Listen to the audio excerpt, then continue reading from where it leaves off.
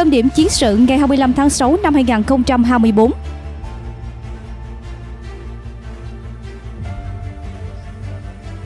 Ukraine tuyên bố tấn công hơn 30 cơ sở dầu khí của Nga. Cháy lớn ở Moscow, viện nghiên cứu Platan chìm trong biển lửa, nhiều người thiệt mạng. EU tung gói trừng phạt thứ 14 nhằm vào khí đốt Nga. Kiev bất ngờ thay chỉ huy lực lượng liên quân. Tên lửa Neptune của Ukraine ồ ạt tấn công lãnh thổ Krasnodar của Nga, sân tập bị phá hủy, huấn luyện viên thiệt mạng. Ukraine vượt lằn tranh đỏ mới của Nga khi tấn công trung tâm liên lạc không gian chiến lược ở Crimea. Tất cả sẽ được gửi tới quý vị ngay sau đây. Kính thưa quý vị, quyết định của Tổng thống Ukraine Volodymyr Zelensky thay chỉ huy lực lượng liên quân được cho là có liên quan đến những thất bại, tổn thất gần đây của quân đội Ukraine. Tổng thống Ukraine Volodymyr Zelensky ngày 24 tháng 6 bất ngờ cách chức tư lệnh lực lượng liên quân Ukraine Sudan, bổ nhiệm ông Andrei Natap thay thế. Ông Zelensky thông báo quyết định này trong bài phát biểu trực tuyến hàng đêm hôm 24 tháng 6, song không nêu rõ lý do.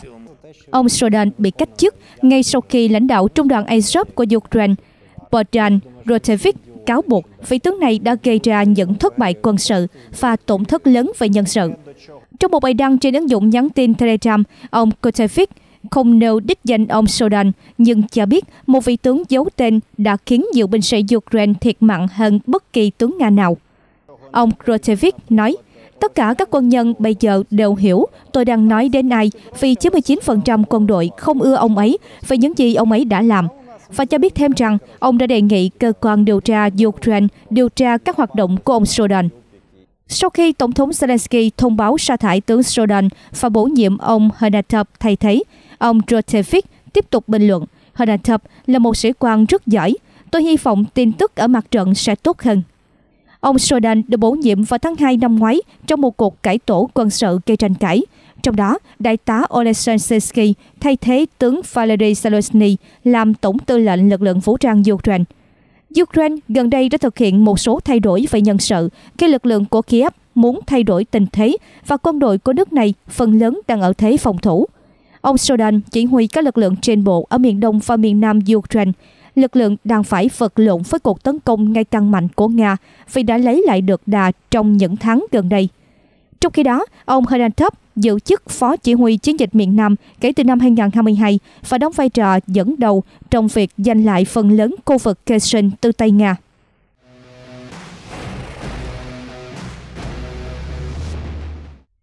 Cháy lớn ở Moscow, viện nghiên cứu Platon chìm trong biển lửa, nhiều người thiệt mạng. Cơ quan tình trạng khẩn cấp Nga thông báo rằng toàn bộ người bị mắc kẹt trong đám cháy xảy ra tại một viện nghiên cứu cũ ở ngoài ô Moscow đều đã thiệt mạng. Theo RT, trong ngày 24 tháng 6, cơ quan quản lý tình trạng khẩn cấp Nga đã xác nhận về một đám cháy bùng phát ở trung tâm nghiên cứu Platon, thị trấn Bryazino, cách thủ đô Moscow 50 km theo hướng đông bắc. Cơ quan quản lý tình trạng khẩn cấp cho biết đám cháy lan từ tầng 5 tới tầng 8 của tòa nhà, bao phủ một diện tích gần 4.500 m2. Những người bị kẹt trên tầng cao không thể thoát ra được. Nguyên nhân của vụ cháy vẫn đang được điều tra, có thể liên quan tới một vụ nổ bình ga. Truyền thông địa phương cho biết đã có 8 người thiệt mạng trong vụ hỏa hoạn, bao gồm hai người nhảy từ tầng cao để cố gắng thoát khỏi ngọn lửa. Ngay sau khi vụ việc xảy ra, hơn 100 nhân viên cứu hỏa và hai trực thăng đã được điều động tới hiện trường để khống chế đám cháy. Theo hãng thông tấn TASS, Viện Nghiên cứu Platon chuyên sản xuất thiết bị laser, màn hình LCD cũng như các loại đèn khác nhau. Tuy vậy, rất nhiều tầng trong tòa nhà đã được cho thuê và ngọn lửa có thể đã bùng phát từ một trong các khu vực này.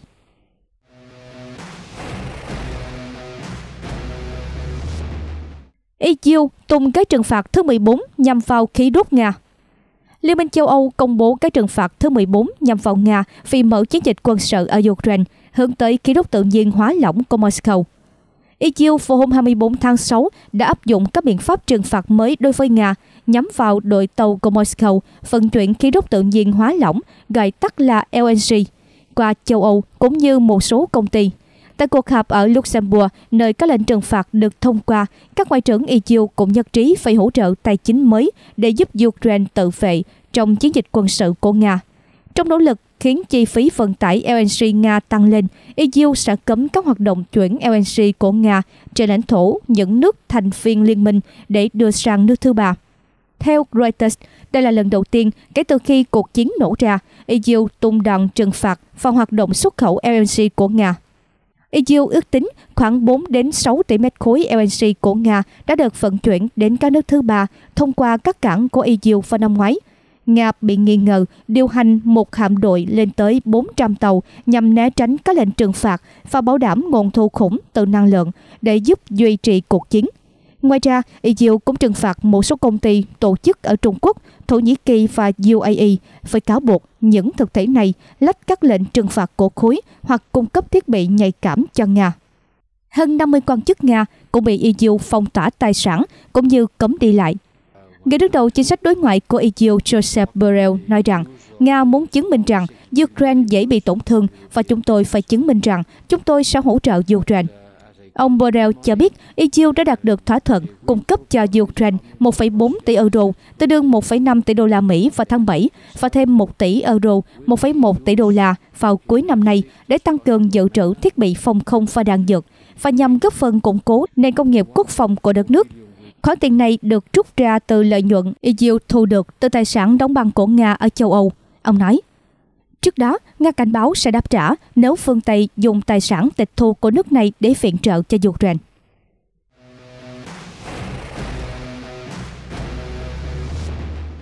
Kiev tuyên bố tấn công hơn 30 cơ sở dầu khí của Nga. Tổng thống Volodymyr Zelensky tuyên bố Ukraine đã tấn công hơn 30 cơ sở xử lý và lưu trữ dầu của Nga. Tổng thống Zelensky nói với các sĩ quan của Trung tâm điều hành đặc biệt A thuộc cơ quan an ninh nhà nước SBU Ukraine vào hôm 24 tháng 6 rằng hơn 30 nhà máy lọc dầu và kho chứa dầu của Nga đã bị tấn công. Ông Zelensky không cung cấp thêm bất kỳ chi tiết nào hoặc tiết lộ khoảng thời gian diễn ra các cuộc tấn công trên. Kể từ khi Nga mở chiến dịch quân sự, Ukraine liên tiếp tấn công các cơ sở hạ tầng năng lượng nhằm vào ngành công nghiệp dầu khí của Nga – giới chức Kiev tuyên bố các cuộc tấn công này nhằm làm suy yếu nỗ lực của Nga và đáp trả các cuộc tấn công mà Moscow nhắm vào cơ sở hạ tầng năng lượng của Ukraine. Ngành xuất khẩu dầu mỏ và năng lượng chiếm khoảng 30% nguồn thu ngân sách của Nga, có ý nghĩa quan trọng đối với việc duy trì chiến dịch quân sự của Moscow ở Ukraine. Các sản phẩm dầu và hóa dầu đóng vai trò quan trọng tạo nguồn thu nhập cho Nga. Moscow xuất khẩu những sản phẩm này cho hàng chục quốc gia trên thế giới. Ukraine đã sử dụng máy bay không người lái tầm xa do cả tình báo, quân sự và SBU phát triển để thực hiện các vụ tấn công. Ông Zelensky nói, đối với máy bay không người lái SBU, khoảng cách 1.500 km không còn là vấn đề nữa. Dường như đề cập đến vụ tấn công ngày 9 tháng 5 khi một nhà máy lọc dầu lớn ở vùng Bulgaria bị tấn công.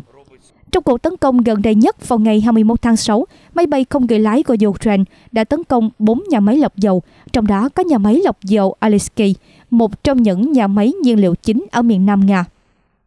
Nga cũng có động thái đáp trả bằng cách tấn công quy mô lớn vào các nhà máy điện của Ukraine.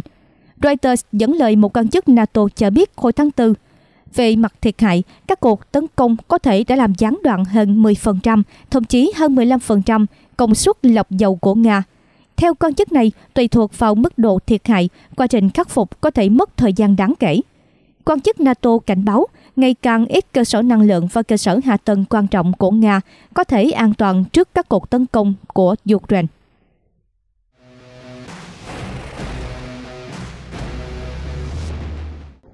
Tên lửa Neptune của Ukraine ồ ạt tấn công lãnh thổ Krasnodar của Nga, sân tập bị phá hủy, huấn luyện viên thiệt mạng.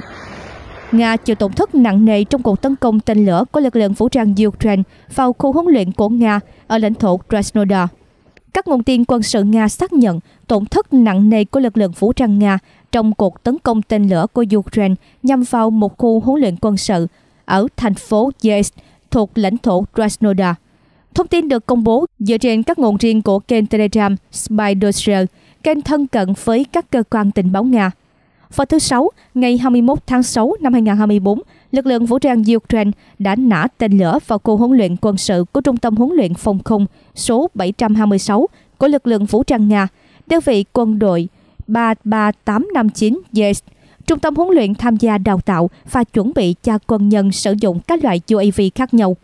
Cuộc tấn công được thực hiện bởi hai tên lửa hành trình không xác định loại. Người Nga tin rằng với khả năng cao, đây chính là R-360 Neptune.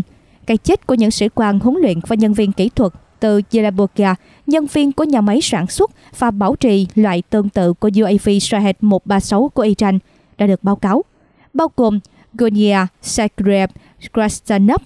Theo nguồn tin, nhà chứa UAV nơi đây cũng bị phá hủy bao gồm 20 chiếc Shahed 136 Geranium 2, 50 chiếc UAV tấn công Lancet, 40 chiếc UAV trinh sát Sala.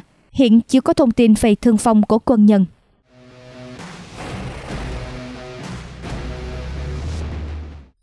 Ukraine vượt lằn ranh đỏ mới của Nga khi tấn công trung tâm liên lạc không gian chiến lược ở Crimea. Tại bán đảo Crimea, một loạt vụ nổ đã được ghi nhận sau cuộc tấn công vào một đơn vị quân đội Nga gần Shepatoria. Kênh Telegram Grimkis đã đăng tải hình ảnh sau vụ tấn công và cho biết một đám cháy lớn đang xảy ra tại cơ sở quân sự của Nga ở làng Vitine.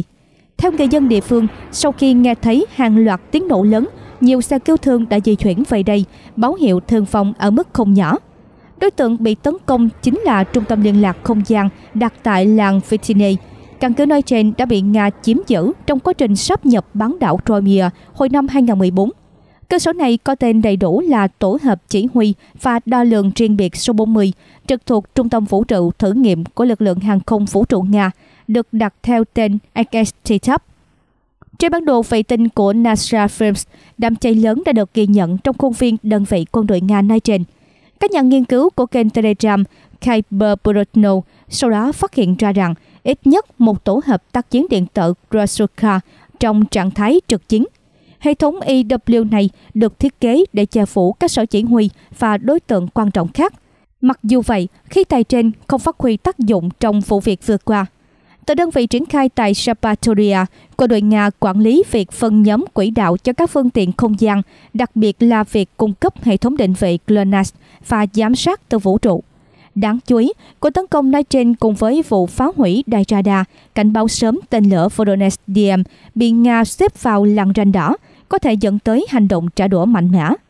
Ngay trước đó, lực lượng vũ trang Ukraine còn tiến hành một cuộc tấn công bằng tên lửa hành trình vào vị trí triển khai tổ hợp phòng không S-400 Triumph cũng tại bán đảo Crimea. Vụ tập kích nói trên diễn ra vào đêm 11 tháng 6, rạng sáng 12 tháng 6. Vị trí bị tấn công nằm cách làng Vernikosodov thuộc quận Bachysaroi, gần 2,5 km. Hình ảnh vệ tinh cho thấy trạm radar 92N6 sẽ hỗ trợ BAS 6306 Vochina và bệ phóng 51B6 đã bị hư hỏng. Sự suy yếu của lực lượng phòng không Nga trên bán đảo Crimea đã được Ukraine tận dụng để tiến hành nhiều cuộc tấn công tên lửa thành công vào các căn cứ quan trọng. Tin tức vừa rồi cũng đã kết thúc chương trình ngày hôm nay. Cảm ơn quý vị khán thính giả đã quan tâm theo dõi. Xin mến chào tạm biệt và hẹn gặp lại.